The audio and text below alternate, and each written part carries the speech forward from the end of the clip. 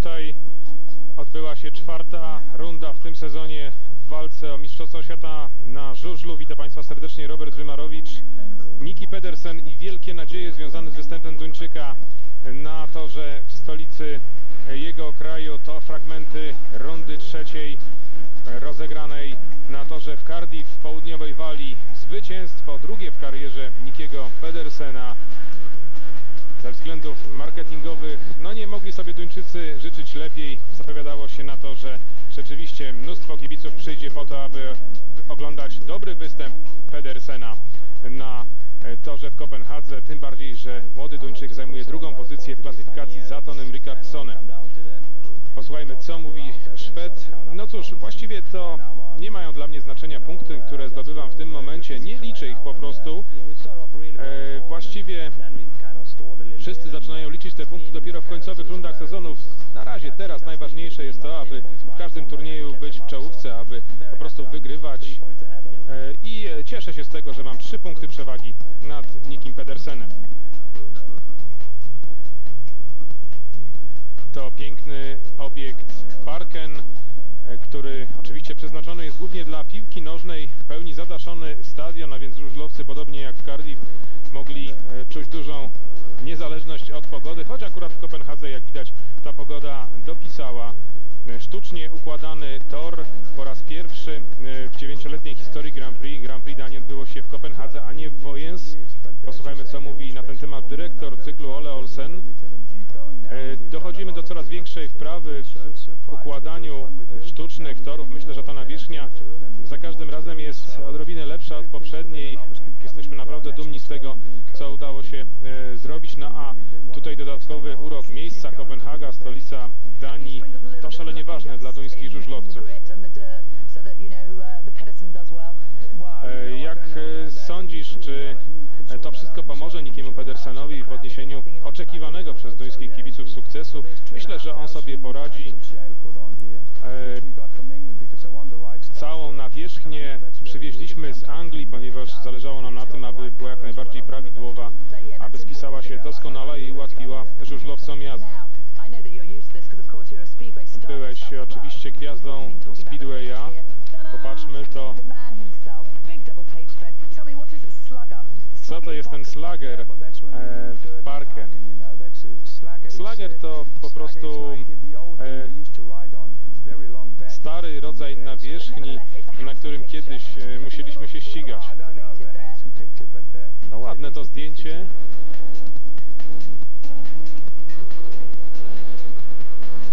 Hans Nielsen, czterokrotny mistrz świata. Zresztą wszyscy dawni mistrzowie duńskiego speedwaya przyjechali e, na stadion Parken, aby obserwować e, występy swoich rodaków. Dwa, dwie kraksy na to, że w Cardiff, a potem zwycięstwo. No cóż, nie mogliśmy ciężej go wypracować, to trzeba przyznać. Osiem e, startów, było gorąco, wiele momentów trudnych. A teraz troszkę inna sytuacja dla Ciebie, wielka presja, szczególnie po tym, czego dokonałeś w Cardiff. Jak myślisz, jak sobie z tym poradzisz? Mam jak najbardziej pozytywne myśli na ten temat. Chcę po prostu jechać do przodu i zadowolić oczywiście kibiców specjalnie z tego względu, że ścigamy się przecież w stolicy naszego kraju na największym duńskim stadionie. Jesteśmy pozytywnie umotywowani, ludzie przyjdą, aby nas dopingować, ale jesteśmy także tylko ludźmi. Myślę, że damy z siebie wszystko, a efekt będzie taki, który zadowoli kibiców. Co możesz powiedzieć o torze po treningu? Myślę, że jest troszeczkę podobny do tego w Cardiff, choć może wiraże są odrobinę bardziej wąskie. Myślę jednak, że mimo wszystko będzie można atakować na tym torze. Bardzo dobra jest nawierzchnia, koła mają odpowiednią przyczepność i to powinno wszystkim pasować.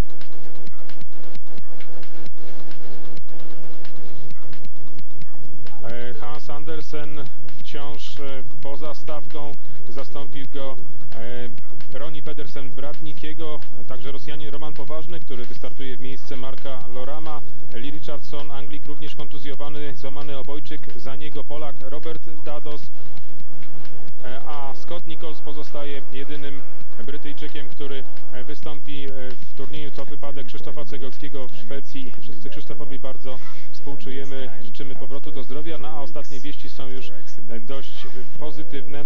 Czuję się całkiem dobrze. E, no cóż, trudno oczekiwać by było lepiej trzy tygodnie po wypadku. E, nikt nie może w tej chwili powiedzieć, jak długo po, e, potrwa mój powrót do sportu, ale mam nadzieję, że tak się właśnie stanie.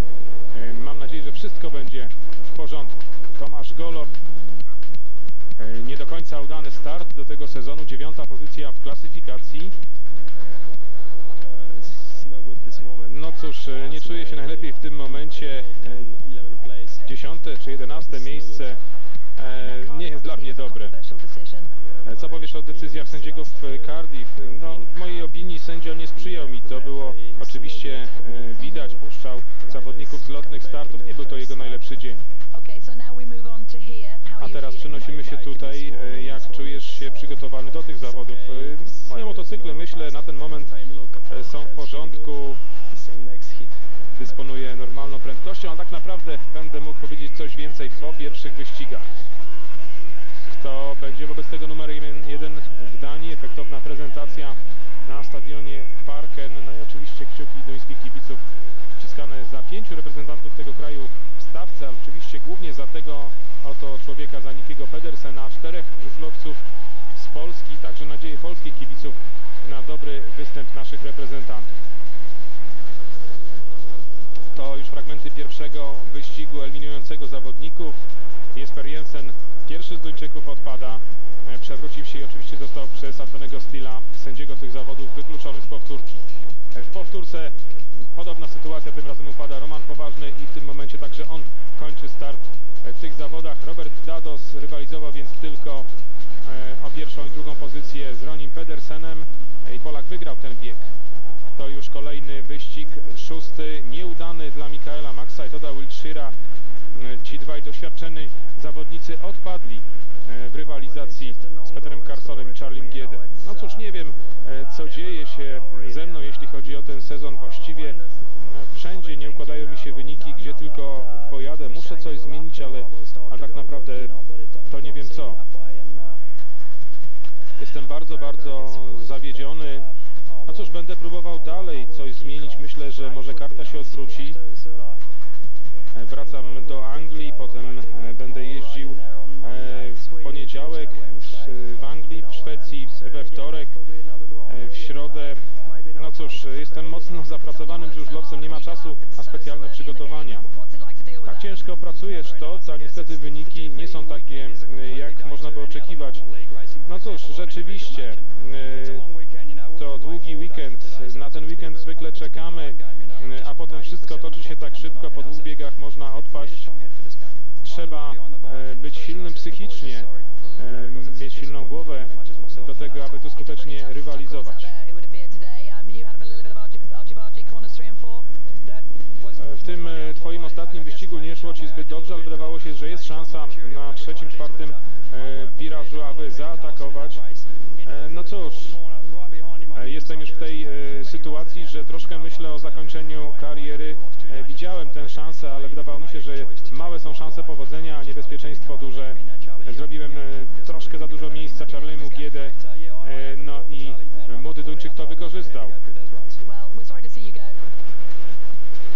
Szkoda, że już musimy się pożegnać. Siódmy wyścig z udziałem Lukasza Drymla, Ryana Sullivana i Tomasza Goloba. Lukasz Dryml zwycięża, Tomasz Golob na drugiej pozycji. Wydaje się, że za dużo jest troszkę wypadków na tym torze. Nie jestem z niego zadowolony. Ja też przewróciłem się w swoim pierwszym starcie. Mam nadzieję, że już i więcej nie będzie. Najlepsi zawodnicy z Cardiff rywalizowali w biegu 9 i 10 wyścigi zapoznawcze dla tych y, żużlowców. Niki Pedersen od razu pokazał dobrą e, szybkość, także Greg Hancock. Lee Adams na trzeciej pozycji, Andreas Jonsson czwarty w tym wyścigu.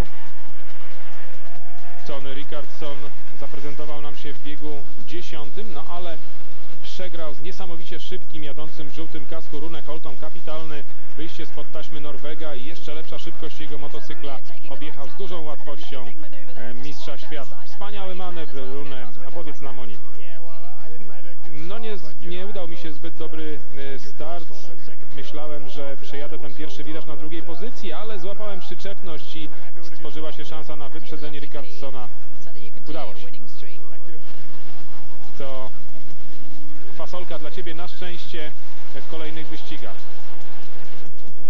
Ryan Sullivan e, stanął pod presją udziału w wyścigu eliminującym, biegu 11, no ale poradził sobie. Wygrał ten bieg z Tomaszem Bajerskim. E, odpadli Charlie Giede i Robert Dados. Troszkę nerwowa dla Ciebie sytuacja, Ryan. Start od początku zawodu. Łatwo można zostać wyeliminowanym. Rzeczywiście nie jest to dla mnie idealna sytuacja, aby zdobywać punkty. No, cieszę się, że wykonałem dobry start, uciekłem rywalom, no i zostaję e, tutaj w zawodach. Jak się czujesz, jeśli chodzi o Twój obojczyk? Wszystko w porządku, no ale jak wiemy, e, nie do końca, bo nie tak dawno znów w lidze szwedzkiej Ryan Sullivan miał kolejną kontuzję. Już Ronnie Pedersen, który upadł, coś stało się z jego nogą, już nie wziął udziału w powtórce. Odpadł w wyścigu 12 awansowali Jason Lyons, Bohumil Brchel, odpadł także Peter Carson, zdobywając oto zresztą pełna lista tych, którzy odpadli w pierwszej fazie turnieju. Carson, Giede, Pedersen, Dados, Wiltshire, Poważny, Max i Jesper Jensen. A za chwilę zobaczymy, co wydarzyło się w turnieju głównym.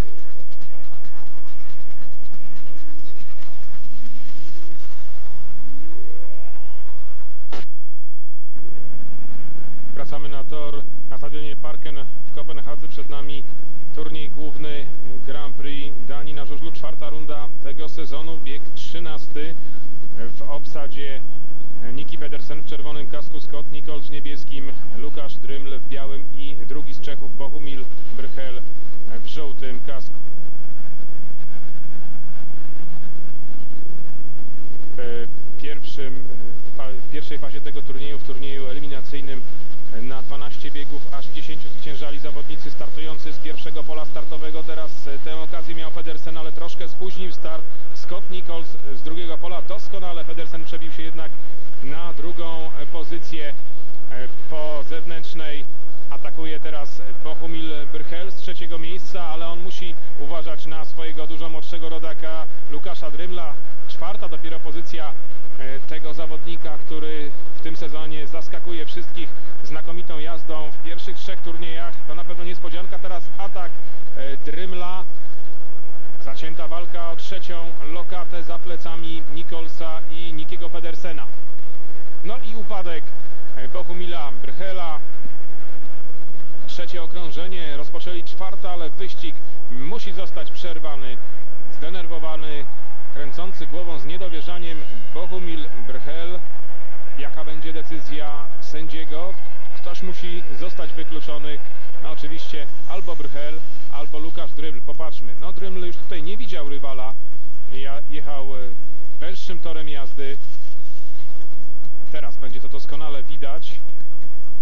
Zahaczył oczywiście motocyklem Bohumila Brchela, ale w takich sytuacjach często sędziowie interpretują to w ten sposób, że zawodnik jadący po zewnętrznej e, powinien zachować na tyle kontrolę nad motocyklem, aby poradzić sobie z taką sytuacją. To już powtórka w trzyosobowym składzie bez wykluczonego Bohumila Brchela. Zwycięstwo Scotta Nicholsa przed Nikim Pedersenem, a więc oni e, uczynili pierwszy duży krok w kierunku półfinału. No cóż, oczywiście e, miło jest wygrać, ale drugie miejsce w tej fazie zawodów także jest e, dobre, spełnia swoje zadanie, przybliża do następnej fazy turnieju. To już e, fragmenty biegu 14. Tony Rickardson wygrywa przed Lee Adamsem, Piotr Protasiewicz trzeci, Tomasz Bajerski czwarty. Niestety nie udało się Polakom, no ale walczyli ze znakomitościami światowego speedwaya. Troszeczkę nie poszło mi na starcie, no ale potem było już znacznie lepiej. Myślę, że nawet z pola trzeciego i czwartego, jeśli do, wygra się start. Można doskonale przejechać pierwszy wi y, wiraż. Tyle Tony Rickardson, a teraz już y, przed nami wyścig 15. Greg Hancock w czerwonym kasku, Jason Kramp w niebieskim, Tomasz Golob w białym i Jason Lyons. No, polscy kibice liczyli na lepszą niż w Cardiff postawę Polaka. Trudne trzecie pole startowe, ale nieźle Tomasz Golob, chociaż w tej chwili Polak na trzeciej pozycji. Zabrakło prędkości na wyjściu z wirażu, aby objechać jadącego w czerwonym kasku Grega Hancocka. Kramp przed Hancockiem, Golob i Lions. Tak w tej chwili układa się sytuacja na torze i już w tym momencie widać było, że ciężko będzie Polakowi przedrzeć się choćby na drugą pozycję. No ale na szczęście trzecie miejsce w tym biegu nie oznacza jeszcze odpadnięcia z turnieju. Tyle, że w kolejnym trzeba startować pod presją i potem jeszcze raz, aby e, przedrzeć się do strefy półfinałowej, do najlepszej ósemki turnieju. Jeszcze próbuje jednak do końca Tomasz Golob atakować Grega Hancocka, szuka tam przyczepnej ścieżki po zewnętrznej. Teraz był taki moment, no ale widzieliśmy, że i przyczepność e, złapał Greg Hancock. Odparł ten atak Tomasza Goloba. Ładna walka naszego reprezentanta do końca. Szkoda, że bez efektu w postaci zmiany pozycji na lepszą. Cieszy się Jason Kramp, który miał niezbyt udany początek tego sezonu. 11 punktów w Chorzowie w Grand Prix Europy, potem fatalny występ w Szwecji, tylko 5 punktów w Aweście. E, Już w Anglii pokazał, że wraca do formy, e, zajął drugą pozycję i teraz także widać, że jest szybki w tym turnieju. Course, always. Yeah, no, it's, it's a pretty Uh, little track, and uh, the inside gate's probably the best one. But if you don't Myślę, że wewnętrzne pole jest e, up najlepsze w tym turnieju, ale jeśli wystartuje się dobrze także z drugiego, można coś zdziałać. Muszę następnym razem wykonać troszkę lepszy start, więc wtedy będzie jechało się na pewno bardziej komfortowo.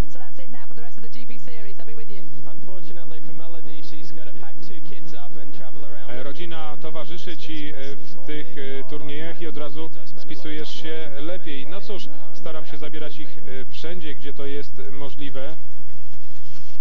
E, No teraz e, Melody nie ma łatwego zadania, bo musi zapakować dwoje dzieciaków. To jeszcze wierzenia Krampa o jego żużlowo-rodzinnym życiu, a my już patrzymy na fragmenty biegu 16. Znakomita szarża Ryana Sullivana z czwartego pola w żółtym kasku. Kapitalnie to zrobił Australijczyk. W takiej formie widzieliśmy go rok wcześniej w Cardiff, gdzie również jadąc szerokim torem objeżdżał e, z łatwością rywali. Rune Holta na drugiej pozycji, a trzeci Andreas Jonsson, czwarty Bjarne Pedersen. No i to już wyścigi 19-20 z udziałem tych zawodników, którzy będą już tylko o krok od e, biegów półfinałowych. Ole, proszę, porozmawiajmy dwie minuty o oponach. No nie jest to najlepszy czas na tę rozmowę, ale, ale dobrze. E, Tutaj widzimy e, opony po treningu. E, Brzegi tych gumowych klocków są wyraźnie starte, a przecież chodzi o to, aby były jak najbardziej ostre. Do tego dążą zawodnicy. Aby uniknąć tutaj wszelkich kombinacji z oponami typu mm, nawilżania ich specjalnymi sustem, sy- substancjami poprawiającymi ich miękkość. E, zamawiają je zawodnicy e, dzień e, wcześniej. Muszą wszystkie mieć taki właśnie znaczek GP albo SGP i te koła zawodnicy, ich mechanicy dostają dopiero e, po briefingu tuż przed startem do pierwszego wyścigu, także wszyscy, taką mamy gwarancję, startują na jednakowych oponach. To nie daje nikomu przewagi.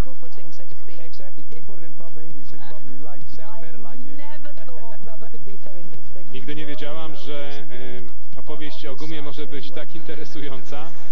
Tyle jeśli chodzi o żużlowe opony, to oczywiście krótki wykład o Lolsena dla tych z Państwa, którzy nie są może do końca wprowadzeni w specyfikę wyścigów żużlowych, a my wracamy już na start do biegu 17.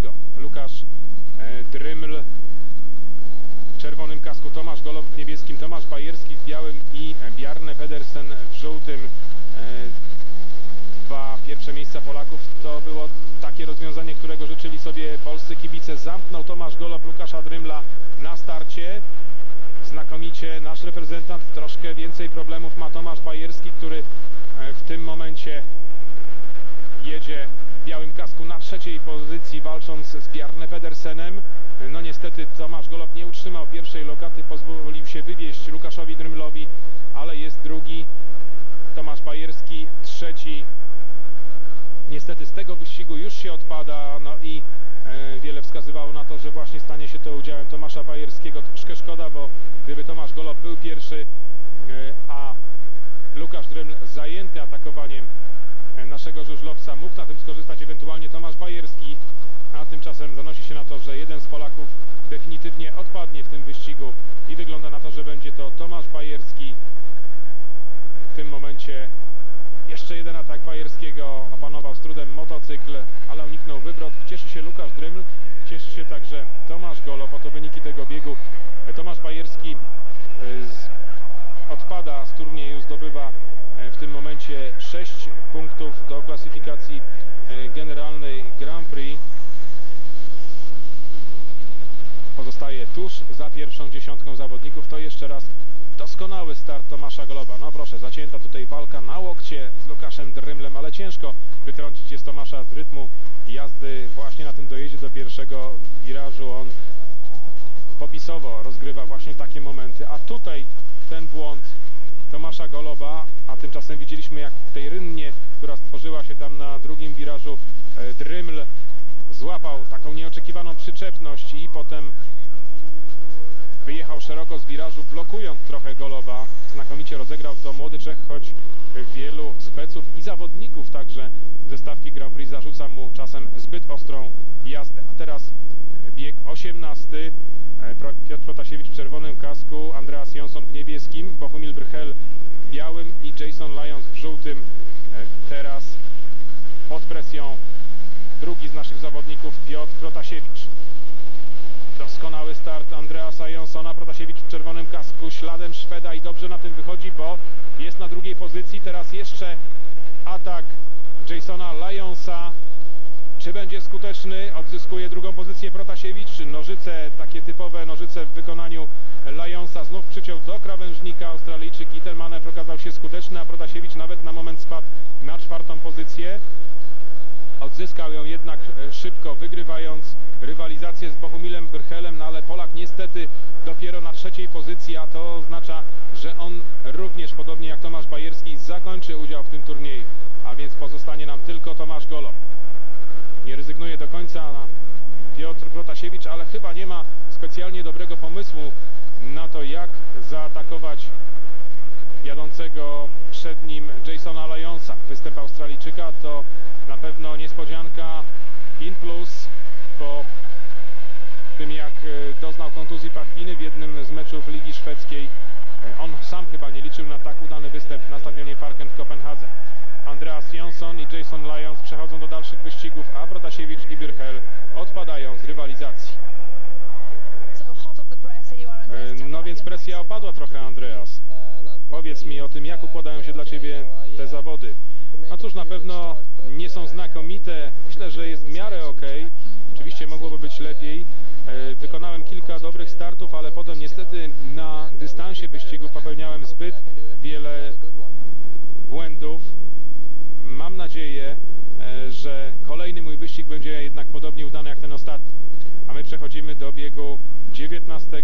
Scott Nichols w czerwonym kasku, Jason Kramp w niebieskim, Lee Adams w białym i Rune Holta w żółtym. Ten bieg, pierwsza, druga pozycja w nim oznacza już przepustkę do najlepszej ósemki zawodów. Popatrz. Tym razem nie udał się tak atomowy start i przejechanie pierwszego wirażu Rune Holcie. Doskonale za to poradził sobie znów Scott Nichols. Świetnie startuje Anglik w tych zawodach. Na drugiej pozycji Adams, nieskoordynowana troszkę jazda Jasona Krampa w niebieskim kasku na trzeciej pozycji. E, próbuje szerokim torem jazdy zbliżyć się do swojego rodaka Lee Adamsa, który jedzie w białym kasku. Jason Kramp, a tymczasem gdzieś tam na końcu utknął znacznie, znacznie wolniejszy, tym razem Rune Holta. To przykład na to, że jednak ustawienie motocykla, tak zwany setup, trzeba korygować w trakcie trwania zawodów, bo warunki torowe zmieniają się. No i y, widać z tego, że Norweg tym razem nie poradził sobie z tym problemem. Kramp jeszcze nie zrezygnował, ale niełatwo będzie wyprzedzić Adamsa. To zbyt doświadczony zawodnik, aby pozwolić sobie na błąd. Na ostatnim wirażu e, Kramp jeszcze spróbował, ale jak widzimy bez efektu. A więc Nichols i Lee Adams już w półfinałach. E, Lee Adams po raz kolejny potwierdza opinię zawodnika, właściwie mistrza półfinałów, tak się o nim mówi, bo bardzo często Australijczyk jest w najlepszej ósemce, tymczasem później e, już z awansem do finału jest znacznie gorzej. No? Jak ci idzie dzisiaj, jak to oceniasz, Lee? E, No na pewno to ciężka praca, e, wszyscy trzymają gaz. E, Z trzeciego pola nie jest najłatwiej dobrze wystartować, ale tym razem nawet nieźle się udało. Wyprzedziłem e, Jasona Krampa na pierwszym wirażu, to był dobry manewr, jestem w ósemce. No cóż, jadę dalej. E, Trzeba tylko uważać e, z właściwym setupem motocykla. To także podkreślił i Adams, bo e, robi się coraz bardziej twardo na torze w Kopenhadze. Bieg 20, podobna stawka jak w przypadku wyścigu 19, także dwóch zawodników z tego wyścigu awansuje bezpośrednio do półfinałów, a trzeci, czwarty jeszcze będą musieli o ten awans powalczyć w biegach 21 i 22. Obsada tego wyścigu to Tony Rickardson w czerwonym kasku, Greg Hancock w żółtym, Nicky Pedersen w białym i Ryan Sullivan w niebieskim. Rickardson kapitalny start. Na drugiej pozycji w tym momencie Ryan Sullivan. Trzeci jest e, Nicky Pedersen, a czwarty Greg Hancock. Błąd Sullivana, za szeroko przejechał ten wiraż Australijczyk. No otworzył drzwi, jak mówią żużlowcy w swoim żargonie. Nie mógł tego nie wykorzystać Nicky Pedersen jadący w białym kasku i Duńczyk ku radości 25 tysięcy widzów na trybunach stadionu Parken jest już na drugim miejscu, a to oznacza, że kibice będą go oglądali w najlepszej ósemce. No teraz on musi uważać, aby nie przytrafiła mu się e, jakaś niepotrzebna pomyłka. Teraz widać było, że rzuciło jego maszyną. Sullivan jednak był zbyt daleko, by to wykorzystać, a tym bardziej, że on również nie ma spokojnego życia na tym trzecim miejscu, bo atakuje go jadący w żółtym kasku Greg Hancock. Pewne zwycięstwo Tony'ego Rickardsona, niesamowicie szybki w tym wyścigu Szwed i także, proszę, jak szalenie ucieszony Nicky Pedersen, który wprawił w ekstazę kibiców na stadionie Parken w Kopenhadze. Sullivan w biegu 22, Hancock w biegu 21, tam też w 22 właśnie rywalem Sullivana będzie Tomasz Golob, Holta i Johnson uzupełnią stawkę, a tutaj w drugim biegu ostatniej szansy Krem, Hancock, Dryml i Lions. Czekają nas więc wielkie emocje. Popatrzmy jak cieszy się cała ekipa Nikiego Pedersena. Bardzo żywiołowy, młody Duńczyk. Nie wstydzi się okazywać emocji. Często rzuca różnymi przedmiotami, kiedy jest zły. Na przykład po telefonicznych rozmowach z sędzią, po niekorzystnych dla siebie decyzjach potrafi wprost rozbijać kolejne aparaty telefoniczne. Nawet już pojawiły się takie żarty na temat Nikiego Pedersena, że kiedy on przyjeżdża na Grand Prix, to organizatorzy muszą zadbać o zapas telefonów. A to jeszcze decydująca akcja. Błąd Ryana Sullivana, perfekcyjnie wykorzystany przez Nikiego Pedersena i żużlowiec z numerem 12 zapewnił sobie awans do stawki półfinałowej. Wszyscy jadą tak bardzo agresywnie, że na torze jest naprawdę bardzo, bardzo trudno.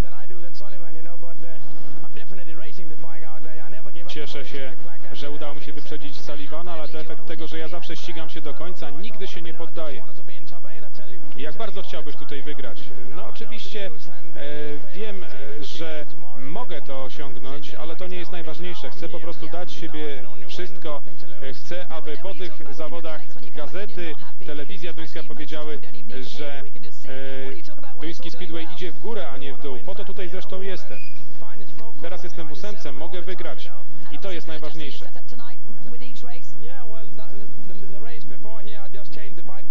E, Przed ostatnim wyścigiem zmieniłem zupełnie motocykl, no i to pomogło mi w awansie do półfinałów. Mam nadzieję, że tak będzie również dalej. Przed nami decydująca faza Grand Prix Danii na stadionie Parken w Kopenhadze.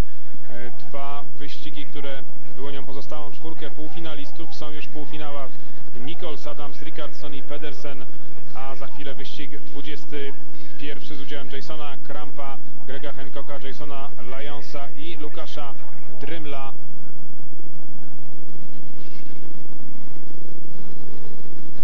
Kramp i Hancock na pierwszym, drugim polu startowym, na polach, które dają niejaką przewagę e, żużlowcom w tym turnieju. Najlepiej są przygotowane, a oczywiście e, Lions i Dryml w trudnej sytuacji. Młody Trzech na desperacko tutaj chce awansować do e, półfinału. Troszeczkę ruszał się na starcie, teraz zejście do krawężnika, ale doskonale wyszedł Kramp. Hancock także nie zmarnował szansy, no i trudna w tym momencie sytuacja Lukasza Drymla, który po dwóch e, turniejach, po dwóch pierwszych rundach był prawdziwą sensacją sezonu, będąc współliderem klasyfikacji razem z Tonem Rickardsonem. Właśnie Lukasz Dryml i Niki Pedersen to ta dwójka z e, tej fali młodych zawodników, którzy teraz dobierają się do skóry bardziej doświadczonym. Dryml jednak nie wytrzymał tej presji. Wpadł w tę rynnę, która otworzyła się na drugim wirażu i przewrócił się młody Czech. W tym momencie oczywiście wyeliminował się z turnieju. Tym razem e, zdobywa tylko 7 punktów. Na pewno liczył na znacznie więcej, ale e, pamiętamy, że w wywiadzie narzekał na jakość toru na obiekcie w Kopenhadze. Odpada także Jason Lyons, on zdobywa 8 punktów, a do półfinałów awansują Jason Kramp, który takimi gestami właśnie znanymi doskonale demonstruje swoją radość. Teraz przyjacielski gest wobec Lukasza Drymla pomoże e, młodemu Czechowi dostać się do Parku Masz. Także w półfinale jest Greg Hancock, który w tym sezonie odzyskuje jakby dawny wigor mistrz świata z 1997 roku.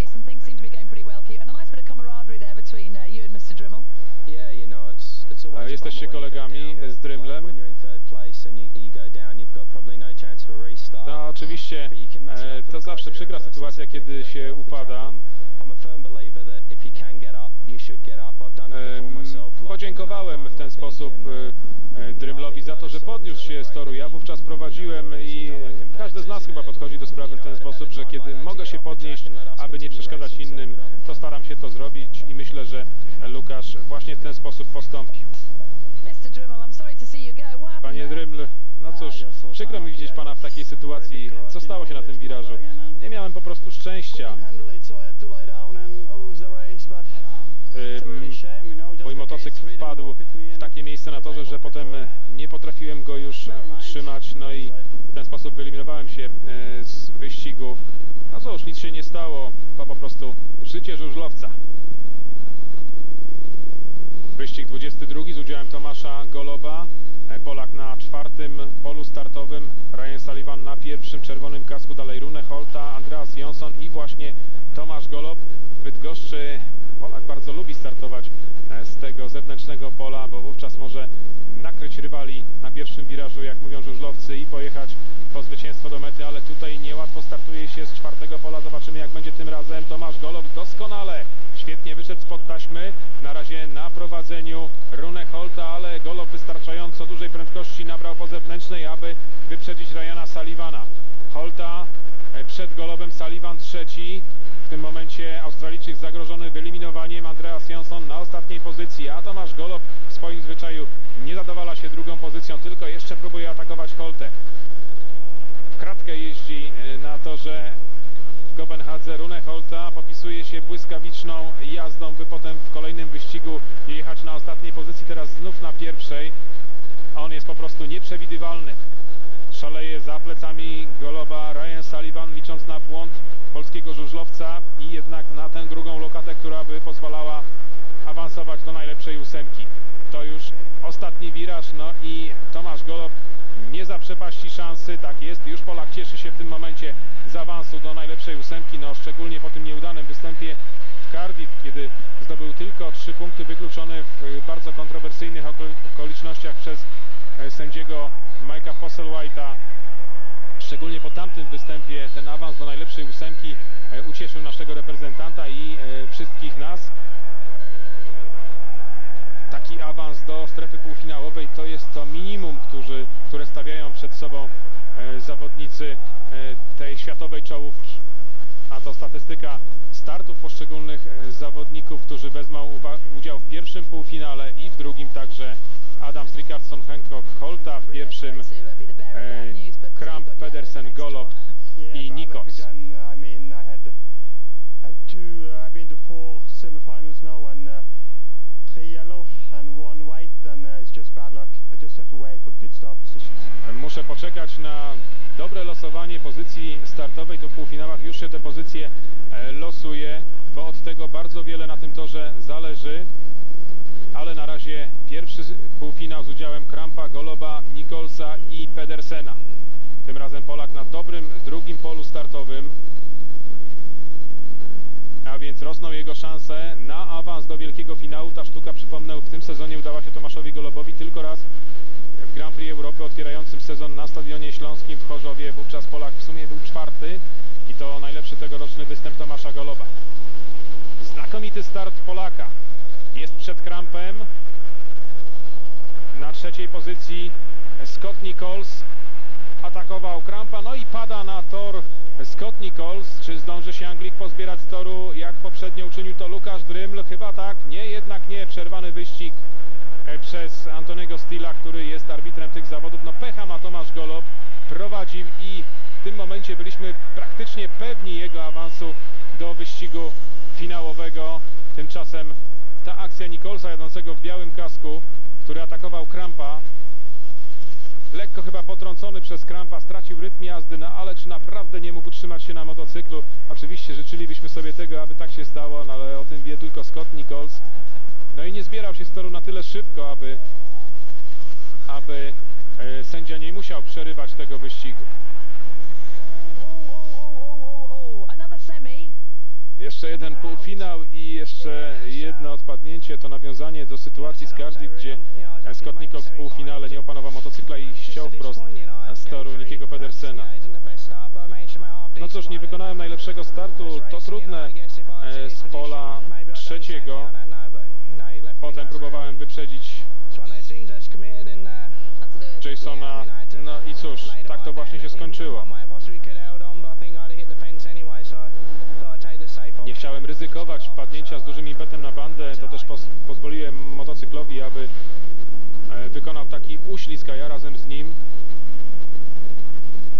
To tyle na dzisiaj, jeśli chodzi o Scotta Nicholsa. Powtórka w trzyosobowym składzie. No Tomasz Golob musi jeszcze raz powtórzyć to, to znakomite wyjście spod taśmy. Tam widzieliśmy kontuzjowany Hans Andersen ogląda przebieg walki. Nie tak dobry start e, Tomasza Goloba, potem walka Polaka o trzecią, o drugą lokatę z Nikim Pedersenem. Jeszcze jeden desperacki atak Goloba wyrzucony na zewnętrzną. Pedersen teraz musiałby Golob przyciąć do krawężnika, ale zabrakło prędkości w jego motocyklu. No a Jason Kramp, jak później oceniano, wyraźnie ukradł start, mówiąc w żużlowym żargonie. Po prostu stanął daleko od taśmy, lekko czołgał się, jak mówią zawodnicy. No i potem właśnie wystartował do tego biegu z tak zwanego lotnego startu. Tomasz Golob niestety na trzeciej pozycji, a więc można powiedzieć, że ma pecha Polak. Y, Znów y, w tym turnieju, chociaż jego występ znacznie, znacznie lepszy od tego w Cardiff, ale wygląda na to, że w tym półfinale Golob odpada. Tak się właśnie dzieje, zdobywa 13 punktów. Natomiast Jakob Olsen, tutaj właśnie ten lekko usiejący pan menadżer duńskiej reprezentacji, syn Ole Olsena, opiekujący się ze znakomitymi efektami w tym sezonie, e, od ubiegłego roku zresztą już duńskimi żużlowcami, szalenie zadowolony z awansu Nikiego Pedersena do finału. Jason Kramp również jest w najlepszej czwórce tych zawodów, a niestety Tomasz Golob odpada. Anglicy na pewno także żałowali odpadnięcia e, Scotta Nicholsa. Tym razem Kramp właśnie wykorzystał tę przewagę lotnego startu. Lekko wypchnął Tomasza Goloba na zewnętrzną. Tam z kolei był już Pedersen, który miał o tyle ułatwione zadanie, że tym razem nie miał po swojej lewej ręce e, Scotta Nicholsa, więc miał większą swobodę manewru, startując z niezbyt korzystnego czwartego pola. No i tak to się wszystko właśnie ułożyło. No a Jason Kramp troszkę próbuje oszukiwać e, sędziów na starcie. Niki Pedersen także, e, kto dobrze oglądał e, relacje z Cardiff, tam także można było zauważyć, że to zwycięstwo Nikiego Pedersena w dużej mierze odniesione dzięki właśnie lotnemu startowi w biegu finałowym. Sędziowie powinni na to zwracać baczniejszą uwagę, no ale w Cardiff nie robił tego Mike Passelwhite, a tutaj w Kopenhadze również nie czyni tego najlepiej Antony Steele, drugi ale angielski arbiter, a to już drugi półfinał. Adams, Rickardson, Holta i Hancock. Rickardson kapitalnie spod taśmy, nie daje szans rywalom. Adams zostaje na ostatniej pozycji, Hancock na drugim miejscu, Holta wściekle atakuje zewnętrznym torem jazdy. Rozpędza się niesamowicie Norweg, a Hancock jak przyklejony do krawężnika broni swojej drugiej pozycji. Tym razem się nie udało Holcie, teraz Norweg jadący w żółtym kasku e, troszkę chaotycznie poczynał sobie na kolejnym wirażu i stracił znów 3-4 metry do Hancocka. Adams potwierdza opinię zawodnika, który jakby traci impet w biegach półfinałowych. Po raz kolejny w ósemce i po raz kolejny nie awansuje do wielkiego finału. To znaczy udało się to w Szwecji e, Adamsowi, ale odpadał w półfinałach i w Chorzowie i także w Cardiff. A więc po raz czwarty w półfinałach e, tylko on, Tony Rickardson i Rune Holta to trzej zawodnicy, którzy we wszystkich e, turniejach w tym sezonie kwalifikowali się do strefy półfinałowej. Rickardson jest już w finale, Hancock także, a więc dobra postawa Amerykanina. Dla niego to trzeci z rzędu e, finał był e, w biegach finałowych w Szwecji i w Cardiff w Grand Prix Wielkiej Brytanii. Nieudany tylko pod tym względem turniej w Chorzowie.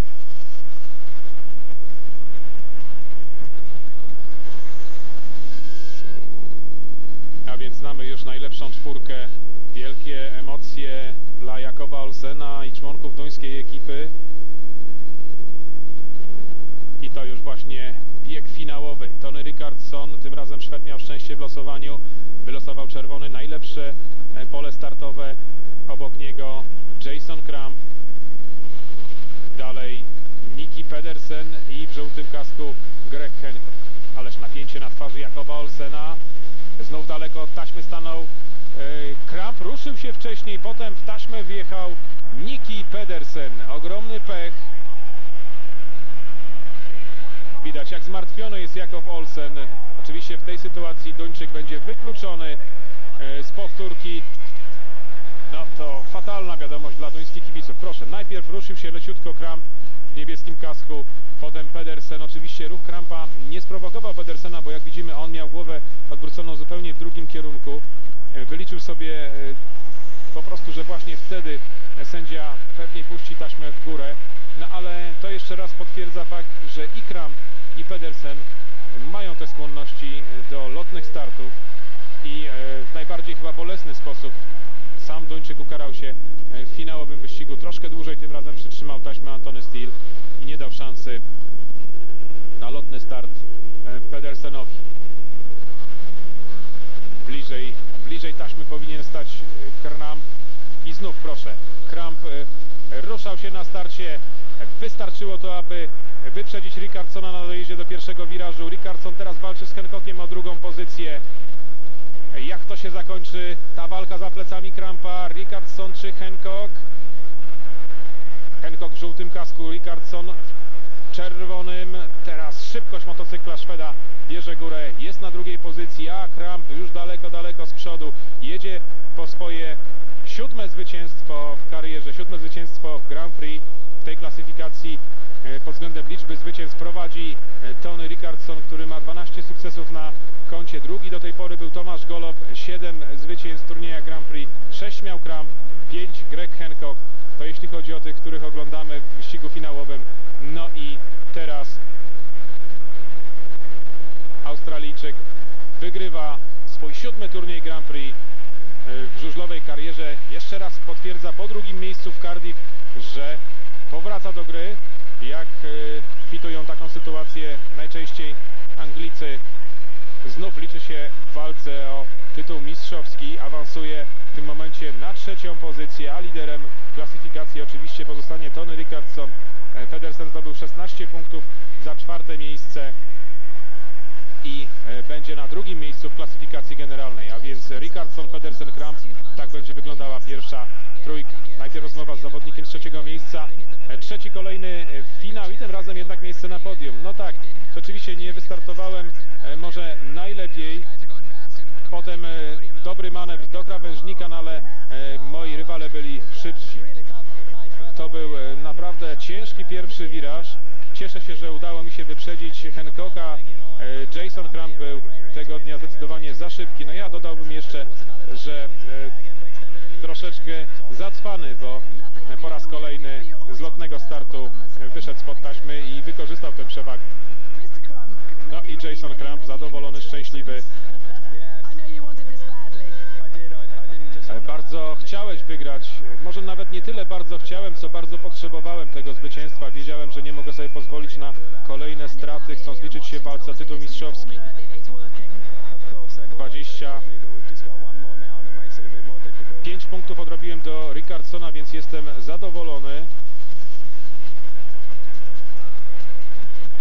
To sytuacja w klasyfikacji generalnej. 76 punktów ma Rickardson, 69, a więc o 7 mniej Niki Pedersen, 61. e, Jason Kramp. Na dziewiątej pozycji Tomasz Golob, e, dziesiąty Piotr Protasiewicz, dwunasty Tomasz Bajerski. No może w tym sezonie medalu mieć nie będziemy, ale przynajmniej aż trzech Polaków ma szansę na to, aby wywalczyć miejsce w pierwszej dziesiątce i pozostać w cyklu na przyszły sezon. A teraz piąta runda, e, już najbliższą sobotę Grand Prix Słowenii.